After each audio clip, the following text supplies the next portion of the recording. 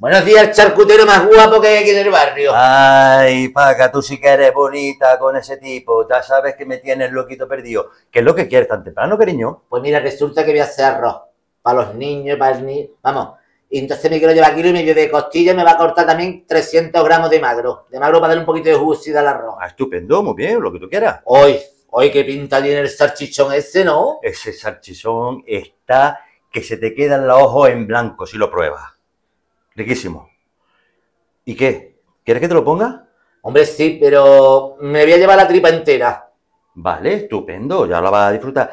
¿Quieres que te lo haga en rodajitas? Sí, vamos, que te crees tú que mi coño es una hucha. Buenos días, Fernando. Buenos días, Paca, guapetona. ¿En qué te puedo ayudar? Pues mira, te voy a decir una cosa. ¿Tú no tendrás las pilas esas, las AA? Las pilas, ajá. Sí, coño, esas que se le ponen al mando de la tele, que se le ponen al Wallman, que se le ponen a la radio. Mm, Pues no, de esas no tengo.